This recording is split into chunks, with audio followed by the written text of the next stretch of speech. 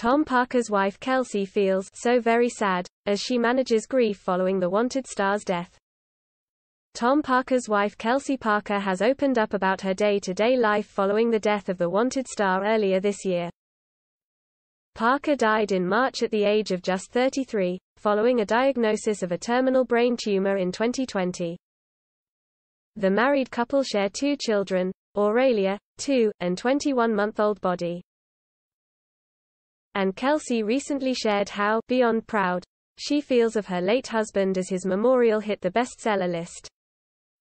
However, she was also hit with the very sad realization that her partner isn't here to celebrate the achievement with her, which she said felt like a come down. Taking to her Instagram, where Kelsey has been very open with her followers about dealing with grief, she began. Hey guys, hope we're all good. So yesterday was an incredible day wasn't it?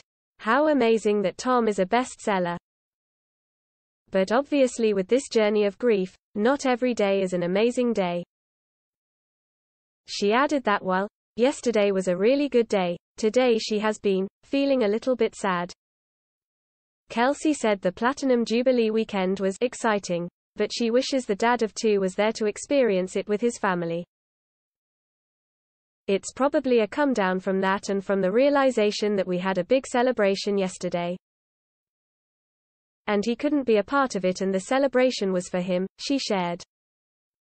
Also, Kelsey has been journaling and sharing poems online that have helped her manage her emotions.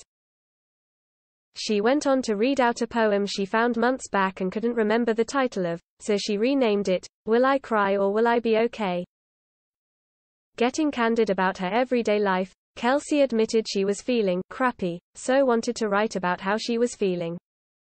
Reciting the poem, Kelsey said, Yesterday I felt okay. I smiled. When I thought of you. I remembered the happy times and the funny things you do. But today, I feel so very sad. I think of you and cry. I'm missing you so very much, and still am asking, why?